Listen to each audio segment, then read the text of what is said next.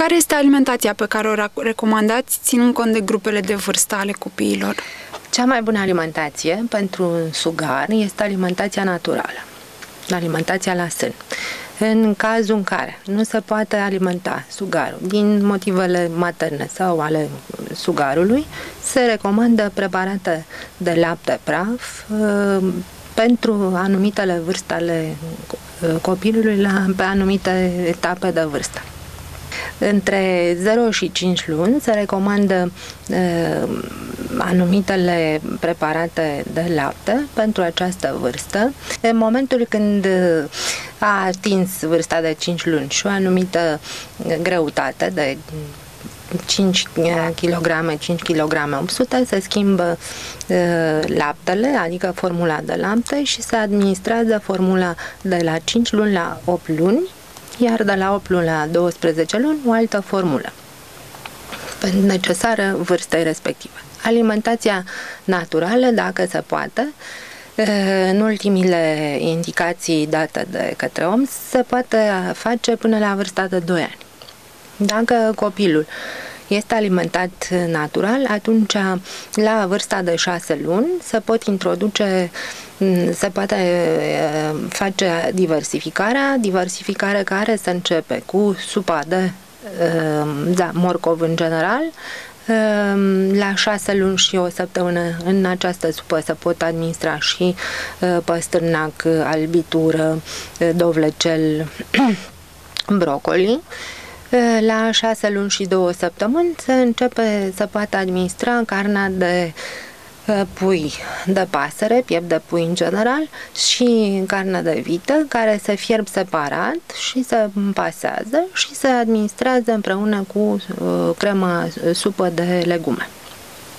În cazul administrației alimentației artificiale, Ehm, se poate începe o diversificare la vârsta de 5 luni, diversificare care se începe cu sucurile ehm, naturale preparate în casă, sucuri de morcov ehm, împreună cu sucul de măr. Ce alimente sau uh, produse nu sunt recomandate și de ce? În general, nu sunt recomandate produsele alergene. Care produse alergene pot să fie uh, smeură, uh, caise piersici până la anumită vârstă, adică în jurul vârstei de 9 luni, 8 luni, 9 luni, nu se administrează, sau iaurturile cu fructe. Deci la această, la sugarul care se începe diversificarea între 5-6 luni, 7 luni, se pot administra iaurturile, dar iaurturile naturale și fructele naturale. Dar dintre aceste fructe, în general, sunt uh, recomandate bananele și merele coapte. Ce pot face părinții atunci când bebelușii sunt constipați? În cazul uh, bebelușilor constipați, dacă alimentația este artificială, uh, se poate administra pe lângă uh, lapte, supă de zarzafat în care nu se mai adaugă morcovul, se adaugă celelalte legume, păstârnacul, albitura și cu uh, dovlecelul. Uh, se poate administra un tratament medicamentos constând din, um, uh, din um, debridat, care de obicei se administrează înainte de masă cu 20 de minute și espumisanul, care este un medicament ce elimină gazele uh, acumulate în uh, intestin și care se administrează în general după masă. Se mai pot uh, administra uh, la cei care sunt alimentați artificial preparate de lapte îmbogățite cu prebiotice sau probiotice și acestea reglează tranzitul intestinal.